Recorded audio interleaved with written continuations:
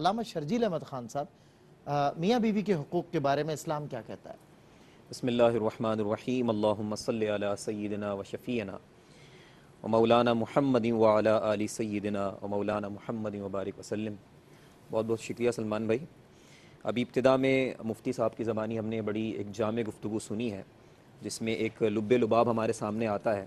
اور علامہ اکرام نے بھی سید سیدنا خدیجہ رضی اللہ تعالیٰ عنہ کے حوالے سے گفتگو فرمائی۔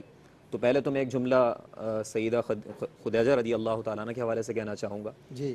کہ اس دنیا میں اس کائنات میں شوہر اور بیوی کے تعلق کے جتنے اعلیٰ سے اعلیٰ پیمانے طے کیے جائیں ہر پیمانے پہ اگر رشتہ پورا اترے گا تو سرکار دو عالم علیہ السلاۃ والسلام کا سیدہ خدیجہ رضی اللہ تعالیٰ کے ساتھ رشتہ پورا اترے گا۔ اچھا اگر معیار مشکل وقت میں شوہر کے ساتھ کھڑے رہنا ہو اگر معیار ہر اعتبار سے شوہر کی مدد کرنا ہو اگر معیار شوہر کی بات کو آگے پہنچانا ہو کوئی بھی معیار طے کر لیں تو تمام معیارات پہ یہ رشتہ پورا اترتا ہے کیا بات کیا بات۔ اب اسلام کا جو مقصود ہے سلمان بھائی وہ مقصود یہ ہے اور منشا یہ ہے کہ ایک پاکیزہ معاشرہ تعمیر ہو۔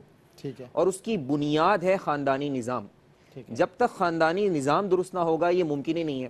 لہٰذا خاندانی نظام کا چونکہ جو اس کی جو بیس ہے جو اس کی فاؤنڈیشن ہے وہ شوہر اور بیوی کا تعلق ہے لہٰذا اسی پر کام ہمیں نظر آتا ہے۔ بالکل یعنی شوہر کو اس کی ذمہ داریاں بتائی جاتی ہیں بیوی کو اس کی ذمہ داریاں بتائی جاتی ہیں۔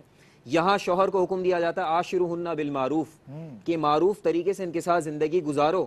اور آقا کریم علیہ الصلوۃ والسلام فرماتے ہیں کہ شوہر پر لازم ہے کہ اس بیوی کو اچھا کھلائے اچھا پلائے۔ یہاں تک کہ آپ علیہ الصلوۃ والسلام نے فرمایا ہے کہ اگر ایک انسان رب کی خوشنودی کے لیے کچھ بھی خرچ کرتا ہے یہاں تک کہ حتی ما تجالو فی فمی امراتی کا کہ وہ جو تم اپنی بیویوں کو کھلاتے ہو وہ جو کھاتی ہے یہ بھی اللہ کی رب العزت کی طرف سے اس پہ بھی تمہیں اجر ملے گا۔ تو یہ بیوی کو کھلانا پلانا یہ سب اجر کا باعث ہے۔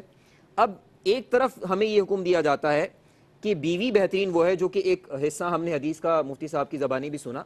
کہ بہترین بیوی وہ ہے کہ جب شوہر اس کی جانب دیکھے تو وہ اسے خوش کر دے۔ اور آگے ہم پڑھتے ہیں کہ جب شوہر اسے حکم دے تو اس کی فرما برداری کرے۔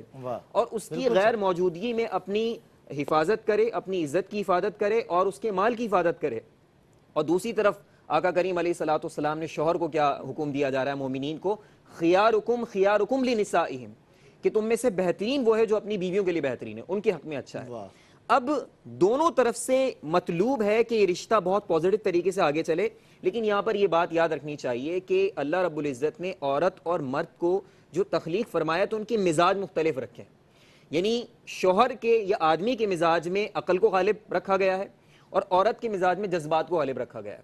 اسی بات کی رعایت رکھتے ہوئے آقا کریم علیہ صلاۃ والسلام کا فرمان پیش نظر رہے، فَإِنَّ الْمَرْأَةَ خُلِقَتْ مِن دِلَعٍ کہ بے شک عورت کو پسلی سے پیدا کیا گیا اور آپ نے فرمایا کہ پسلی میں جو سب سے ٹیڑھا حصہ ہوتا ہے وہ اوپر کا ہوتا ہے۔ فَإِن ذَهَبْتَ تُقِيمَهُ كَسَرْتَهُ۔